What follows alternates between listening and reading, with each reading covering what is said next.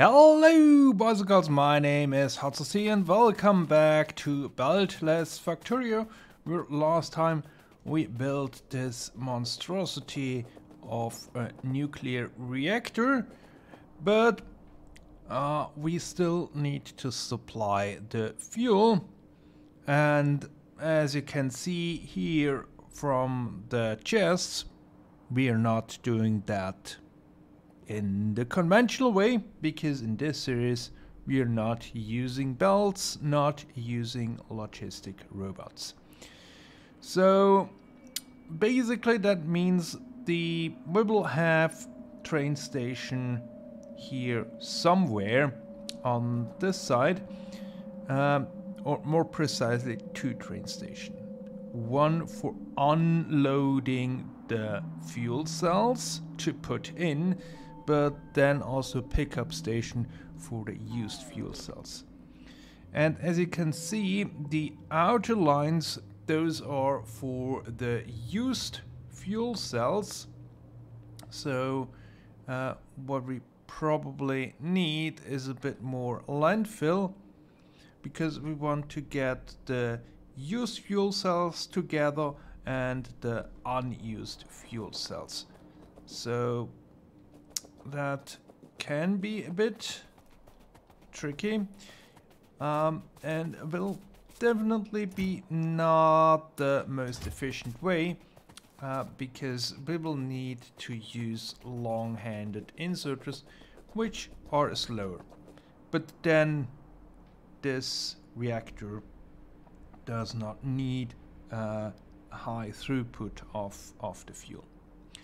Another thing that we want to consider is does our train station come from the top and go to the bottom or the other way around? And if we look here, we will probably have a connection from here to there. And if we look down here, there is the the line on the inside um, that's going west to east. So I think we will come in from bottom and go out to the top. This then also means that we have the unloading station at the bottom and the loading station for the used fuel cells at the top. So let's just add a bit more landfill here.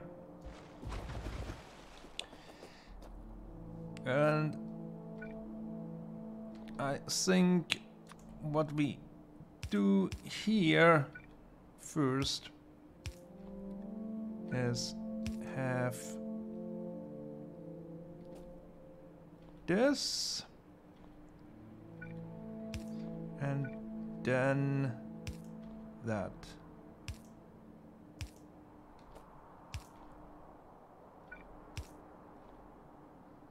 Okay, that goes that way. And then we have something going up there. And then here we can continue this way. And then let's see. Yes, that works out nicely. We can make those jets like this. Stack unloaders. And we probably want to ensure that all these chests uh, can only contain one stack. Uh, but that's basically it what we what we need um, so let's add a bit of land there and do the same thing towards the top. And run out of landfill. Uh, we also need a bit more down there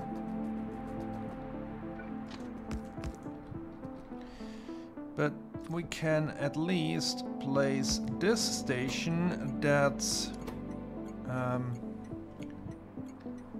uranium fuel cells delivery. Um, and we mark them with a nice icon. Um, we will also need power here. And then a bit more landfill. And a bit more rail. And we probably also need to see how far up. We need to go in order to uh, oh yeah here we probably want a bit more. Uh, we don't need a curve. We want to have a straight line. And basically signal there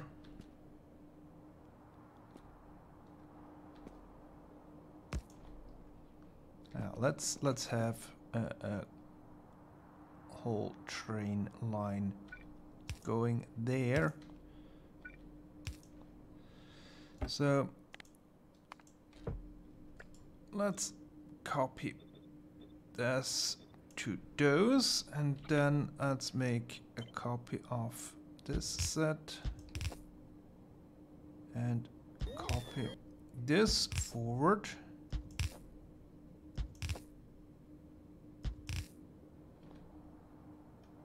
right and here we will have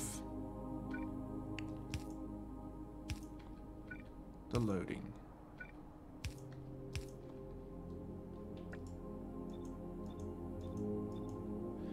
Um, oh, here probably want steel chests that are not limited. Right, and that's then used uranium fuel fuel cells loading. Right. That away. And then have add going up to there. And have a signal there before joining. We don't need signals here in between because we will only have one train making making that route. So, uh, but also down here we need to make the connection and we saw we need a bit more land there. Make signal here. And we probably also should have signal there right and also need to hook this up with a bit of uh, Power. Everything is powered. Everything is powered. Alright, and then let's jump over to this train. Because this train, train fueling, delivery used fuel cells, pick up uranium fuel cells, then uranium fuel cells delivery. Uranium fuel cells delivery. Uh, there we want to have empty cargo and then pick up uh, used uranium fuel cells loading. Um, there we will have full cargo or inactivity for two minutes. Because we will probably not need that many. And that should do it. However what I want to check down there we noticed last time um, when we looked at uh, at the uh, fuel cell production that maybe it was the or we don't have the optimal setup because not all the uh, centrifuges are centrifuging meaning we have suboptimal uh, processing. And uh, maybe we can fix that. Ooh, that was a close one there you can see uh, we are not stocking up here. Um, so what I think we do is we say here um, as soon as there are more than 10 of the light green um, uranium cells in here you can put them in here and craft some fuel cells. Otherwise thing goes through this this loop and eventually that will fill up. And it looks like the train went up there. Yep. Ooh. That means we probably need a radar there yeah Let's go up and place one. And then we should see the reactors coming online. Producing a bit of uh, steam, filling up the... Uh, filling up the tanks and then stop again. But then at least we know it is working.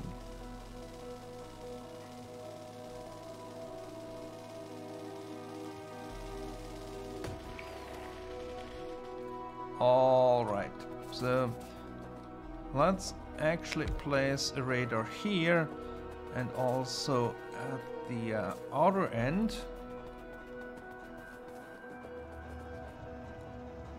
Maybe here.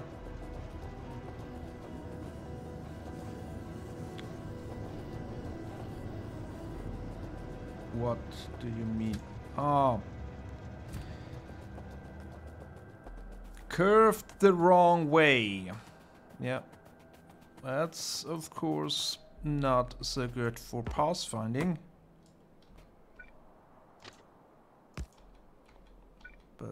something that can be fixed.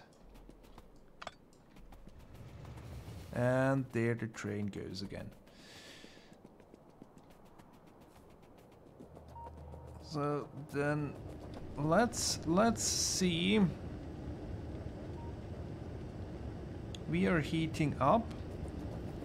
We have water in here. We have water everywhere.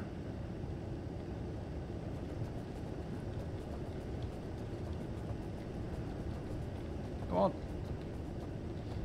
Sometimes tricky to get out here.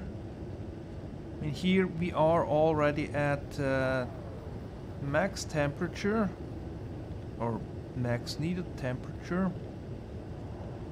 So we should soon see the first one. I would assume that being those two uh, starting to produce.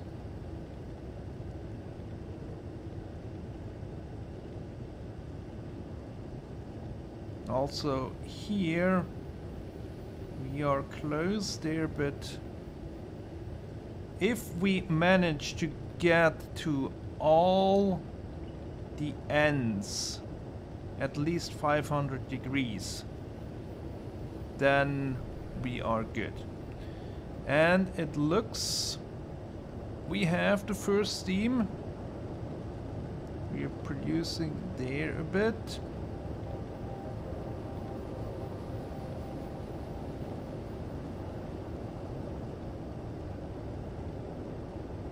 Uh, to what did I limit these? 500k. So it will take a bit uh, until we are there, 10% there. Um, I would hope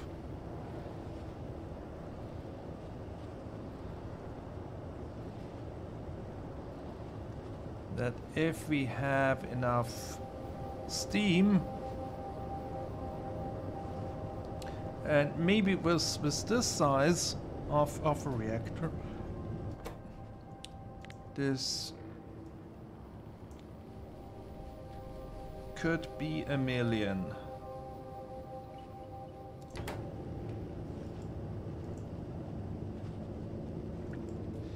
Let's copy that over. Because it was a, was a million liters in there, we have um, higher pressure in the in the tanks. Um, so that should should help. Nice down here all the ones are producing. Up here, not so much. It's a bit astounding because uh, basically the lower and the uh, upper part should work the same. And we can produce up to 1.7 gigawatt of uh, power. I think that should be enough at least for now. So the next item on the agenda is figuring out what's wrong with our research. So let's head over there quickly and do an analysis so we know what we need to do in the next episode. What we can see here is that most trains are here at the science lab, but we are missing one, and the one we're missing is military science. So let's look at the map what might be the cause. The train is there, but we don't get well, apparently we get deliveries, but we get deliveries here.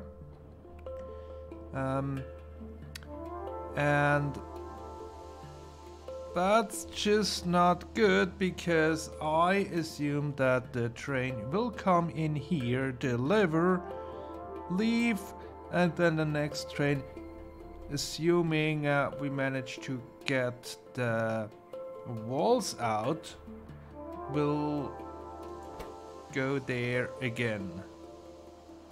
And we do have one train making making the round. Uh, currently, the train could come in here.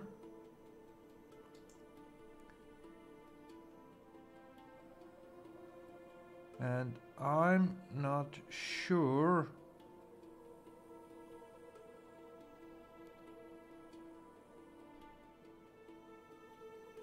if this is set up correctly.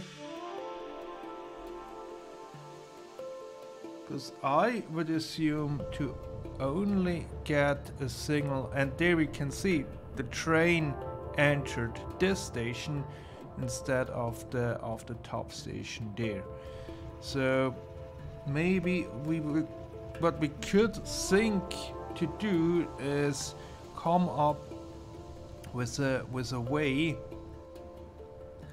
uh, to enable and disable these stations based on the amount of items that are waiting at the corresponding pickup. So that way we would then probably see okay on this train we're missing goods here uh, we don't have that many there either so let's enable this station uh, and not this one. Uh, or more precisely on this one we could see ooh our steel chests here are full so maybe not delivered to this stations. Try the other one. Uh, so